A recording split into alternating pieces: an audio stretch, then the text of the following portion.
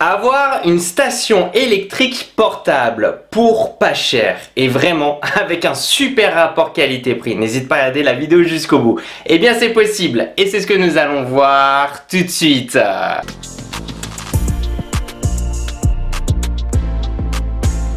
Tout le monde, c'est Christo. Aujourd'hui, je suis vraiment super content de pouvoir te présenter ce qu'on appelle une station électrique qui s'appelle en fait de la marque All Powers et il s'agit du R600, 600 pour 600 watts globalement. Alors en fait, moi j'étais très très intéressé pour te présenter cette batterie. Et si tu souhaites aussi avoir plus de réduction, clique bien entendu sur le lien qui est dans la description de cette vidéo et bien pour bénéficier de toutes les réductions sur le site AliExpress.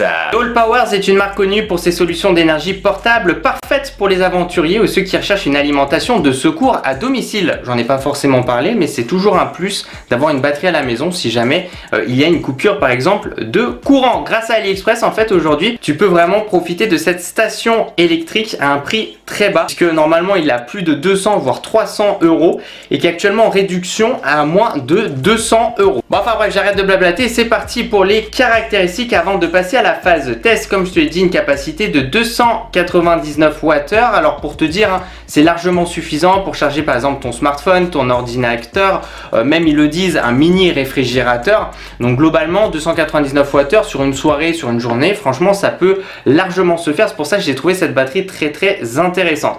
Une puissance de 600 watts avec un pic de 1200 watts. Donc on testera bien entendu ça durant la phase test. Et on a aussi euh, ici deux prises secteur 230 volts. Donc c'est vraiment trop trop bien. On a une charge ultra rapide, c'est-à-dire que se recharge de 0 à 100% en une heure. Et ça aussi, c'est pas mal. On verra bien entendu tout ça. On va retrouver un chargement, bien entendu, euh, donc prise secteur pour le recharger avec un câble trèfle femelle. Et une recharge solaire, donc compatible avec des panneaux solaires jusqu'à 300 watts pour une charge ici rapide de 1,5 heures en pleine nature. Bien entendu, ça dépendra du soleil. Alors là, le point très important, c'est là au niveau des caractéristiques, c'est concernant les batteries. On a du Life ici euh, PO4, plus de 3000 cycles et un design très compact. Donc c'est aussi un autre très bon point, 28 cm x 19 x 19 cm. Donc ça reste assez petit euh, et surtout je trouve assez léger. Voilà, 5 kg, c'est pas énorme pour ce qu'il y a en fait et ce que ça représente. Voilà. On se retrouve en live pour tester ici la R600 proposée par la marque All Powers. Et comme tu peux le voir, la batterie, elle est petite et ça, c'est vraiment, vraiment bien. Et d'ailleurs, on a une petite poignée, comme on peut le voir ici. Et elle est surtout, je trouve, relativement légère. Elle fait environ 5 kg pour une batterie, euh, on va dire, vraiment ici, station d'énergie. Euh, c'est pas lourd. Voilà, donc euh, déjà, je vais avoir vraiment, on va dire, ses points forts. Et quand on regarde ici, nous avons bien entendu la petite lumière que nous allons pouvoir éclairer et qu'on va tester bien entendu. Nous avons le bouton power, donc si j'appuie longtemps dessus, ici la batterie va s'allumer. Alors on va pas forcément le voir parce qu'aujourd'hui nous avons une très très belle journée. Bon, nuageuse un petit peu, mais ensoleillée en Corse. et donc, quand on va regarder, faire un petit tour ici du produit, nous allons avoir ici deux sorties 230 volts, tout simplement. Donc ça, c'est tip top. On va avoir aussi un petit bouton power qui va permettre simplement ici d'activer, d'accord, ces sorties euh, ici en tension, donc 230 volts. On peut aussi le faire ici, voilà puisqu'on a deux sorties de type C et deux sorties USB. Et comme on peut le voir ici, USB-C 100 watts. Donc c'est vraiment intéressant. En fait, moi, ce qui m'intéresse énormément ici, c'est son rapport qualité-prix qui, je trouve, vraiment est très très intéressant. Ici, on a du 12 volts, ici 10 ampères. Euh, donc ça, c'est euh, tout simplement euh, allume, cigare. Donc voilà, que je ne risque de ne pas utiliser de mon côté. Et ici, si j'appuie une fois dessus, on a la lumière qu'on verra forcément de nuit. On peut d'ailleurs régler l'intensité euh, de la lumière et même mettre en, clignotant. Donc euh, ça c'est pas mal. Euh, donc vraiment très très intéressante en tout cas. On peut voir aussi le niveau de batterie restant. On est à 67 watts. D'ailleurs j'ai sorti le chargeur puisque je vais ici recharger la batterie avec bien entendu ici une alimentation trèfle femelle forcément on, a, besoin d'une alimentation voilà, qui envoie ici du lourd pour avoir une charge relativement rapide et ça va se faire sur le côté. Quand on regarde ici, on a la charge bien entendu en trèfle. Et si j'ouvre, nous avons bien entendu aussi un coupe-circuit. Donc ça, c'est pas mal. Et nous avons la possibilité de recharger cette batterie avec panneau solaire. Voilà. Je viens de brancher ici le câble d'alimentation. Et comme on peut le voir directement sur l'écran, donc ici, on est à 68%. Et d'ailleurs, on voit le input tout de suite. Donc on est à 315 watts en chargement. Pour une aussi petite station de recharge d'énergie, je trouve que c'est vraiment très très intéressant. Et il t'affiche même le nombre restant, 38 minutes ici pour la recharge. Et eh bien c'est parti ici pour la phase test de la euh, batterie, donc la R600 proposée par All Powers. Et comme tu peux le voir, nous avons un grippin connecté derrière avec un écran tactile qui consomme pas mal. J'ai mis pas mal de câbles puisqu'on va aussi recharger et s'amuser à recharger un téléphone, un ZTE à gauche, un iPhone à droite, une tablette Xiaomi Pad 5 aussi en haut nous avons euh, le petit dock de chargement ici pour des batteries euh, d'un drone DJI. Nous avons aussi un vidéoprojecteur qui se charge en type C et un ordinateur portable ici de la marque Ninekeer. Bref, ça fait quand même pas mal de choses. Comme on peut le voir ici, on peut press donc le DC button 3 secondes to on off Bluetooth. On peut aussi activer bien entendu la Bluetooth puisqu'il y a une application mobile. J'en ai pas forcément parlé dans les caractéristiques, mais il y a aussi une application mobile. Donc par exemple là, imaginons si j'appuie une fois dessus, en fait, je vais donc activer tout simplement cette partie-là. Si j'active ici, je vais activer donc en fait tout simplement au niveau de la prise secteur. Voilà, au niveau de la prise secteur, ça va demander un peu plus en consommation, donc forcément derrière, il doit ventiler, etc. Donc là, imaginons, je désactive la prise secteur, je prends, imaginons l'iPhone et je la mets au-dessus au niveau euh, de la station et comme tu peux le voir, elle est en train de se recharger. Et oui, parce que on peut tout simplement ici recharger un appareil en sans fil. Voilà, donc ça, j'ai trouvé que l'idée est excellente. D'ailleurs, la batterie, elle est top. Alors oui, au passage, je me suis mis à l'intérieur pour que ce soit plus sympa euh, pour vous, puisqu'en fait, il y a beaucoup de vent dehors. Donc je me suis dit, si je me mettais dehors, euh, avec le vent, ça allait être pas forcément le plus agréable. Donc je me suis permis de, de le faire dans le salon. Mais c'est bien, ça va nous permettre tranquillement de tester tout ça. Comme on peut le voir aussi, nous allons avoir pas mal d'informations entre le input, le output et donc ici le nombre d'heures ou même le nombre de jours restants. Comme on peut le voir, ici on est tout simplement à 4 globalement jour restant, bah oui, parce que tout simplement ici j'ai rien branché, donc là on est tranquille pendant un petit moment puisque j'ai activé euh, l'alimentation ici. Alors on va commencer tranquillement. On va commencer avec, imaginons, le type C. Donc là je vais tout simplement mettre un type C ici. On va prendre le câble et imaginons on va brancher la tablette, donc la PAD 5 qui marche avec une charge rapide. On voit que la charge rapide d'ailleurs est inscrite. Et on peut voir ici, donc on est simplement sur du input, donc forcément à 0 watts, mais qu'on est sur du output ici à 15 watts. Voilà, la, la, la, tablette se charge à 15 watts. Et que là, globalement, en continuant à charger à sur du 15 watts, bah, je peux tenir encore 18 heures. Donc ça nous montre vraiment ici la grosse autonomie finalement de cette station électrique. Bon, imaginons maintenant je souhaite recharger donc l'iPhone. Donc là, je prends l'USB, on va utiliser l'USB et là, imaginons, je vais recharger l'iPhone. Donc là, je mets dessus l'iPhone est en train de se charger et en fait elle est presque à 100% depuis tout à l'heure. Et comme on peut le voir, je monte à 15-17 watts puisqu'en fait l'iPhone est presque totalement chargé. Donc là globalement ça n'a pas changé grand chose. Maintenant ce qu'on va faire c'est qu'on va prendre encore un autre port USB et là je vais recharger ici le ZTE30 Ultra qui lui attention peut être gourmand. En train de se charger le ZTE30 Ultra et donc là on est passé à à peu près 20 watts. Ça reste vraiment tranquille. On voit qu'il y a 16% de batterie restant sachant que je recharge ici la tablette, je recharge aussi le ZTE et je recharge l'iPhone. Voilà. Alors après, les batteries n'étaient pas totalement vides. Donc en fait, il y avait globalement encore de la marge. Maintenant c'est parti, on va donc être un peu plus gourmand. Je vais recharger l'ordinateur ici, bien entendu, en type C. Donc c'est parti, je branche. Et donc quand on regarde, donc pour le moment on est sur du 0 euh, watts et là on est à 50 watts, 54 watts, etc.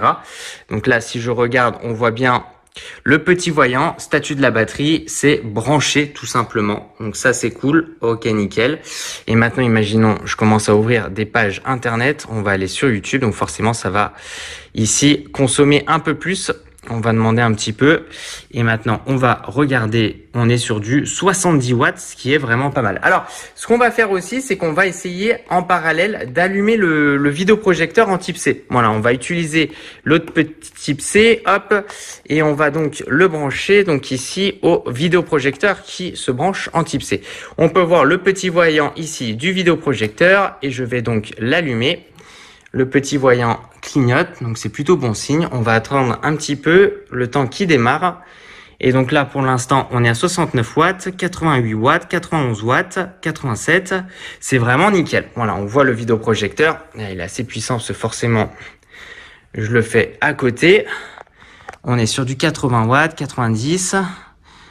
Franchement, c'est pas mal du tout. Là, le, résultat est, vraiment, euh, est vraiment bon. Voilà, et comme tu peux le voir, bah, par exemple ici, on va faire une petite correction trapézoïdale, c'est parti. Et que, en fait, je suis toujours à 100% au niveau de la batterie et que je suis à peu près à 90 watts. Il me dit que j'ai encore 4, 3 heures d'autonomie restant. Donc la correction, hop, l'autokystone se met en cours, nickel. Et maintenant, imaginons, j'utilise le vidéoprojecteur, plus je recharge mon ordinateur. Il m'indique ici que je suis à peu près à 87, 90 watts, il me reste 3 heures. Là, imaginons, en plus de ça, je branche en prise secteur. Et eh bien, imaginons pour recharger, hop, la batterie tout simplement euh, du drone. Alors, comme on peut le voir, ça ne se recharge pas, c'est normal parce que je n'ai pas activé ici la prise de secteur, je viens de le faire. Donc là, on va attendre un petit peu et on va voir si ça va charger tout simplement. Ah bah voilà, en cours.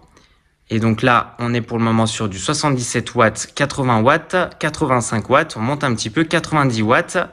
Franchement, aucune difficulté. J'entends même pas pour le moment la ventilation. Après, ça reste sur du 100 watts, donc ça reste quand même assez correct puisqu'il peut quand même monter à 600 watts. Donc écoutez, pour le moment, c'est assez bluffant. Hein. J'arrive à recharger ici batterie euh, de mon drone.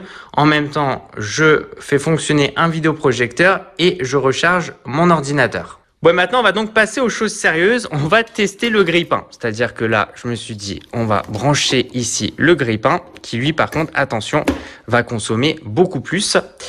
Donc ici, c'est branché et donc là, on va allumer le grippin d'ailleurs qui est connecté, donc qui consomme encore plus. Et donc ici, on va regarder, on est sur du 100 watts pour le moment. Mais écoute, ça a l'air de plutôt euh, bien marcher. Et donc là, quand je regarde, donc ici, l'écran du grippin fonctionne. Je peux personnaliser une cuisson de tartine, etc. Donc le Mans a envoyé une cuisson au niveau du grippin. Donc là, on est à 90 watts. Normalement, on devrait commencer à, augmenter. Et donc là, c'est parti. On monte à 800 watts. On entend que ça chauffe un peu plus. Forcément, le grippin, c'est quand même euh, très gourmand. Et là, finalement, on est allé en surchauffe. Donc, comme tu peux le voir ici aussi, bien sûr, on a arrêté, euh, donc ici, c'est une sorte de, de coupe-circuit, une sécurité, qui indique que finalement, on était beaucoup, beaucoup trop élevé. Donc, puisqu'on peut monter jusqu'à 600 watts.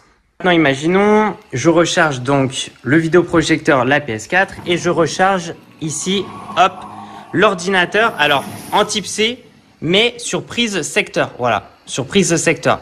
Donc là, on passe tout de suite à 200 watts. Donc c'est quand même assez intéressant. C'est-à-dire que là, j'arrive assez facilement. Et en plus, je suis dans un jeu, donc forcément, la console va beaucoup plus consommer. J'arrive à faire tourner la console. Voilà. Juste ici, aucun souci. Le vidéoprojecteur, et en plus de ça, j'arrive à recharger l'ordinateur. En plus de ça, je regarde une vidéo exprès, comme ça, ça consomme un peu plus. Et on est globalement ici à 150 watts. Imaginons, je mets l'iPhone pour la charge au-dessus. Et comme tu peux le voir, il y a la charge sans fil. Après, l'iPhone est presque totalement rechargé. Donc là, ça fait quand même euh, pas, mal, pas mal de choses. Hein. Quand on clique donc, sur le bouton Power pour remettre l'écran, on est quand même toujours à 170 watts. Donc ça vous montre ici quand même que ici, cette batterie euh, portable, hein, parce que vraiment j'appelle ça portable aussi, cette station électrique, euh, bah franchement elle arrive à bien bien fonctionner. Voilà et donc je suis en train de recharger en plus de ça le ZTE 30 Ultra. Après là je suis presque à 100%, donc en fait il va tout simplement derrière euh, charger un petit peu moins. Mais comme on peut le voir déjà, c'est assez concluant, je trouve, euh, puisque j'arrive à recharger l'ordinateur, une tablette, la PS4, le ZTE 30 Ultra, un vidéoprojecteur et en plus de ça, oui j'avais oublié, j'ai euh, tout simplement ici eh bien les batteries de mon drone qui sont en train de se recharger une à la fois. Et donc là, on peut voir que je suis à 200 watts et que la batterie peut monter à 600 watts. Ah oui, j'ai oublié. Attends, j'ai l'iPhone aussi qui est en train de se charger. D'ailleurs, j'ai le petit voyant en charge euh, sans fil. Donc ça fait vraiment beaucoup de possibilités, beaucoup de produits que je peux recharger euh, en même temps. Et ça, honnêtement, c'est vraiment excellent. En tout cas, je suis vraiment très content de pouvoir te présenter cette belle batterie de la marque All Powers, la R600. En tout cas, j'ai été très très surpris euh, par son rapport qualité-prix, comme je te l'ai dit, avec un prix très très attractif, mais aussi par euh, la qualité. Je trouve que vraiment la qualité est excellente. En fait, c'est assez bluffant. Voilà, j'ai du mal à penser que ce produit-là vaut en dessous de 200 euros. Pour moi, en fait, il vaut beaucoup plus. Globalement, comme ça, en termes de qualité, j'aurais dit 300, 350 euros facile. Euh, franchement, au niveau des matériaux, au niveau du fonctionnement, franchement, c'est un super produit. Voilà, donc ça peut vraiment faire des euros. Et c'est pour ça que je me suis dit, il faut absolument que je le teste. Et quand on regarde donc ici, tout simplement sur AliExpress, en fait, on va avoir en promo. Euh, alors eux, ils mettent à moins 19% et donc il est à 193 euros actuellement au lieu de 239 euros. Euh, donc là, j'ai pris des prises standard Europe, bien entendu, la R600, euh, mais qu'on peut prendre par exemple ici pour 315 euros. Donc c'est pas mal. Franchement, pour 315 euros aussi, c'est pas mal avec un panneau solaire de 100 watts. Donc c'est vraiment excellent. Moi, c'est vraiment un produit que je recommande. Je pense que c'est même le produit cette année qui propose même le meilleur rapport qualité-prix. J'étais très surpris. Je me suis dit, tiens, sur AliExpress, faut absolument que je teste. Et écoutez, euh, bah, n'hésitez pas à me dire ce que vous en pensez dans la barre des commentaires, mais c'est hyper concluant. Bon, merci les gens, merci de mettre un petit j'aime à la vidéo, ça me fait super plaisir. De me suivre sur les réseaux sociaux, c'est dans la description de cette vidéo. Et puis tu sais quoi, continue à aimer mes vidéos parce que tu vas kiffer.